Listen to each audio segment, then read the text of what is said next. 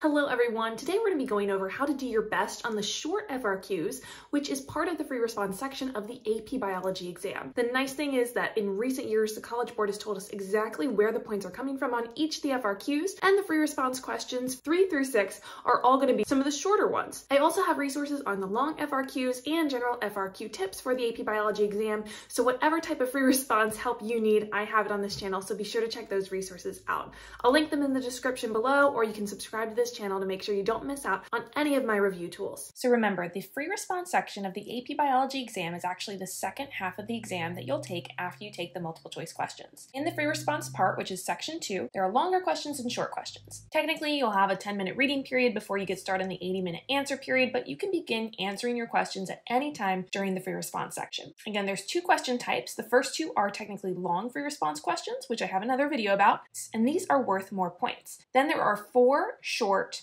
or shorter free response questions. Each of these are usually worth four points. Now, if you're allocating your time for the AP exam, you probably want to devote about 20 minutes to each of the long FRQs and somewhere around 15 minutes to each of the shorter FRQs.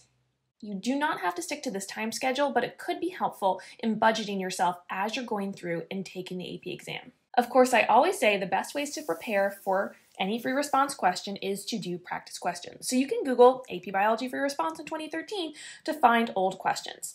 You can also look at old scoring guidelines, which are basically the answer keys. But remember, the exam changed significantly after 2012, so you don't want to find really old AP Biology FRQs. The other thing, too, is that before 2019, the format for these questions was not exactly the same. There's still long questions and shorter questions, but the way that the points were distributed was a little bit different, and they're not going to follow the exact structure that's now on the exam. So it's fine to practice with questions from 2013 to 2019, however, they may be slightly different from the format that I'm going to show you now. Some general tips for the FRQs is to always write incomplete sentences. You should not have bullet point lists, outlines, or drawings unless it tells you to draw something on a specific template, but we'll get to that later. You can label your responses with A, B, C, etc., so you don't have to write it all out in one large paragraph. You don't need to obsess over perfect spelling or grammar. Remember, points are not counted off for errors or poor sentence structure, but you don't need to write introductory or closing paragraphs, no thesis statements, and you're not going to get any special bonus points for good writing or topic sentences, for example. Remember not to ramble. You can avoid restating the question, and remember that the short FRQs are usually four points each. You want to try to answer all of them, but they're worth about only half as much as the longer FRQs. To prepare for the short FRQs, you should review experimental design, biological concepts and processes, models, and data interpretation. You may need to do a few calculations, but it's more likely that those kinds of problems will come up in questions one and two. Instead, the data you'll be interacting with will be data that you'll have to interpret as part of one of the questions. But if you are dealing with any sort of math, don't forget to show any work, your setup, and show your units. All right, so remember, questions one and two are the long free response questions, and the short ones start with question three. Question three is all about a scientific investigation or a lab. So you're going to see a real biological experiment, and in part A, you're going to be asked to describe a concept or process related to that experiment. Part B, you're going to be asked to talk about certain experimental procedures, so make sure you review experimental design. In Part C, you're going to be asked to make a prediction or generate a hypothesis based on something that happened in this experiment.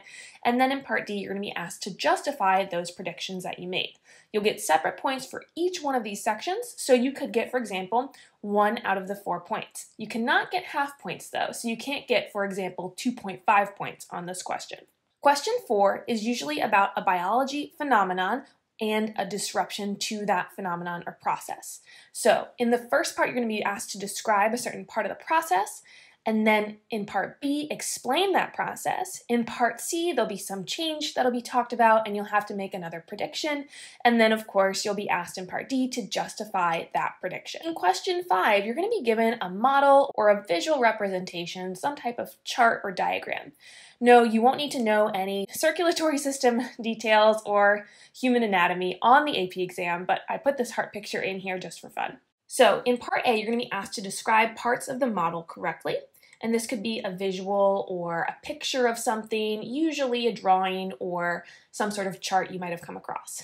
In part B, you're going to have to explain relationships between parts of the model. And in part C, there might be a template or space on the model provided for you to draw or to add something to that model. So this is the only drawing that you might have to do on the AP exam besides generating a graph, which would be part of questions one or two on the free responses.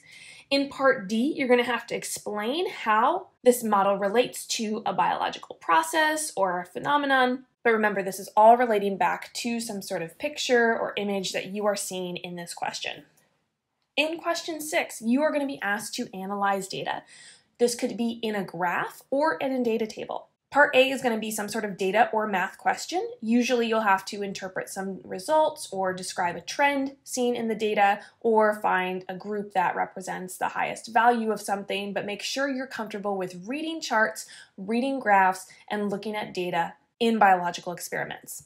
In part C, you're going to be asked to use your data with a particular hypothesis. And then part D, you're going to have to relate it back to some biological concept or process or phenomenon. You might have noticed that a lot of these were asking you to justify a claim. If you've ever had to do a claim, evidence, and reasoning activity in your science classes, this is where that could come in handy. So the claim or the prediction is usually provided, or you're asked to generate that in a separate part. For the justification part on the exam, though, you're going to want to make sure you relate it back to the data or an observation from the experiment, and then your reasoning is going to explain why you stated that thing, or why the prediction was made, or why the scientist made some sort of particular claim. You probably want to use a word like because or since or so that in your explanation, but this does not need to be lengthy paragraphs. It could really just be a sentence or two describing why the claim was made. Make sure you cite it back to the evidence and make sure you have that reasoning part that usually follows the word because. Hopefully you'll have the time to practice some of these. Use the resources that the College Board provides on their website for questions that are closely aligned to those that are going to be on the AP exam. Use any resources your teachers have provided, and the more practice you do, the better you'll get at answering these short free response questions, questions three through six on the AP Bio exam. Remember, I have another video on the long free response questions and general FRQ tips, so be sure to check those out if you need those. Thanks so much for watching. Give this video a like if it's been helpful, and I'll see you later.